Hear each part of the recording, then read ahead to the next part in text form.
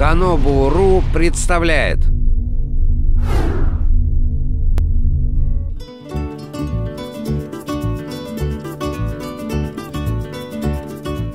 Привет!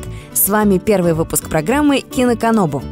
Сегодня мы расскажем о том, что можно и нужно смотреть в кинотеатрах, а что лучше обходить за версту. Не будем почем зря жечь кинопленку, приступим. В этом выпуске Носители. Свиной грипп как промо-акция к фильму. На игре. Кино с прицелом на российских геймеров. Любовь на чемоданах. Муза Тарантино снялась в трогательной мелодраме. Плохой лейтенант. Николас Кейдж настолько плох, что хорош как никогда. Сумерки. Экранное воплощение мокрого сна подростка. Вот мы и дождались этого момента. Всех людей, неравнодушных к играм, посчитали. Посчитали субкультурой, достойной того, чтобы снимать о ней кино. Выходящий на этой неделе фильм на игре мог бы стать трехчасовым монстром, но его благоразумно разделили на две части. Продолжение выйдет в феврале. Сюжет тут не хитрый. Группе киберспортсменов достаются халявные диски с новой игрой – Опробовав новинку, ребята получают суперспособности. Теперь и в обычной жизни они умеют стрелять по-македонски, знают несколько видов боевых искусств и водят автомобили так, что герой фильма «Такси» подавился бы круассаном. Геймеров тут же берут под крыло спецслужбы и предлагают делать то, что получается у них лучше всего — играть. Однако со временем выясняется, что они не герои Отечества, а группа наемных убийц — кстати, фильм снят по мотивам повести «Игры в жизнь» Александра Чубарьяна, который считает себя заправским игроком. Возможно, это убережет картину от откровенных ляпов в изображении нелегкого геймерского быта. Носители. В разгар эпидемии свиного гриппа на экраны выходит очередная страшилка в духе 28 дней спустя. В триллере «Носители» четверо друзей изо всех сил пытаются избежать заражения ужасным вирусом, поразивших всех обитателей нашей планеты. Вам это ничего не напоминает? Еще чуть-чуть, и фильм можно было бы принять за часть рекламной кампании Left 4 Dead 2 — Герои картины, так же как и персонажи игры, для самозащиты пользуются любыми подручными средствами, не забывая при этом про модные нынче марлевые повязки. Однако главное правило «зараженный значит мертвый» перестает действовать, когда речь идет о близких тебе людях. Молодые режиссеры Алекс и Дэвид Пастеры постарались еще раз порассуждать на эту порядком избитую тему. Если вы не пропускаете ни одного фильма категории «Б», то можете проголосовать рублем за полнометражный дебют братьев Пасторов.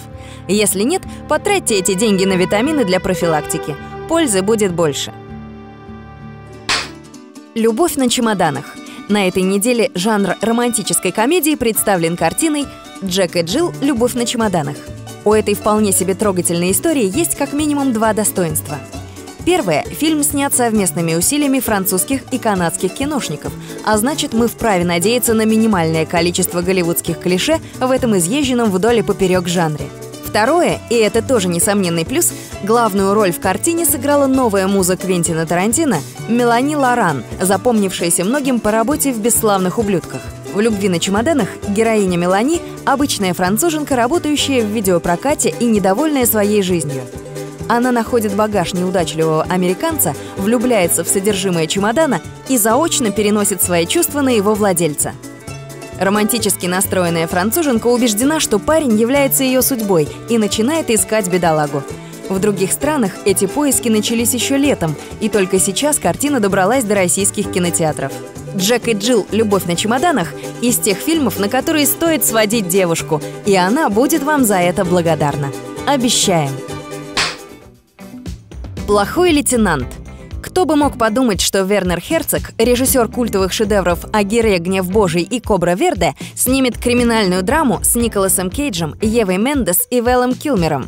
Ко всему прочему, название картины «Плохой лейтенант» заставляет вспомнить одноименный фильм Абеля Феррары – при этом сам Херцог утверждает, что с творчеством Феррары не знаком, любые совпадения случайны, и вообще он не зритель, а режиссер. Поэтому чужое кино не смотрит, а свое снимает. На этот раз Херцог рассказывает историю Терренса Макдона, новоорлеанского детектива, который не прочь побаловаться азартными играми и наркотой, по возможности приворовывает и предается похоти прямо на рабочем месте – к Макдону, и так живущему между молотом и наковальней, с боков потянулись раскаленный утюг и паяльник. Подружка, оказывается, должна мафии 50 штук зеленых, а разгребать приходится ему. Уверены, у плохого лейтенанта найдется не один весомый плюс, но главное – возвращение того Кейджа, который настолько плох, что даже хорош. Несмотря на то, что и эта картина в мировом прокате числится с сентября и особого шума на Западе не наделала, Канобу рекомендует. Рецензия. «Сумерки. Сага. Новолуние». Героине «Сумерек» Белли Свон катастрофически не везет с парнями. Сначала ее угораздило влюбиться в вампира, а потом начать флиртовать с индейцем-оборотнем. И все бы ничего, но на эту историю купилось множество подростков. Кинотеатры содрогаются от наплыва фанаток Роберта Паттинсона, явно грезящих по вампирским укусам. Что до страданий главной героини в исполнении постной Кристен Стюарт, то они затерялись где-то между голыми торсами кровопийц. В фильме «Сумерки. Сага новолуния» господствуют расстегнутые рубашки и приспущенные брюки. А сюжет, если он кого-то интересует, рассказывает о любви между бессмертным бледнолицым вампиром, смертной бледнолицей девушкой и смертным краснокожим индейцем-оборотнем. И каждый участник этого любовного треугольника самоотверженно пытается пожертвовать собой ради любви, а заодно и избавиться от третьего лишнего. Вот такие высокие отношения. Любовь и смерть, раскрашенные в приятные цвета и рассказанные языком тела. Чего еще можно было ждать от режиссера американского пирога? Мы не будем разбирать фильм по Фрейду, хотя бы потому, что целевая аудитория «Сумерек» о старике Зигмунде знает не так уж и много. В фильме все просто, мыльно и предсказуемо. Все так называемые сюжетные повороты не перестают удивлять разве что главную героиню фильма. О какой-то особенной актерской игре говорить тоже не приходится. Даже декорации не такие чарующие, как в первой части. Для тех, кто чужд всех этих прелестей, остается только любоваться отличной битвой оборотней. Это, пожалуй, самое достоверное из того, что есть в фильме. Однако «Сумерки» — это не фильм, а явление, которое настигает девочек и мальчиков в районе 14 лет. Все эти влюбленности, банальности и страхи всегда оставались спутниками нашей молодости, и никуда от этого не деться. Хотя, говорят, с возрастом проходит. Наша оценка — 5 баллов из 10. Уже на экранах. 2012. Рождественская история. Планета 51. Царь.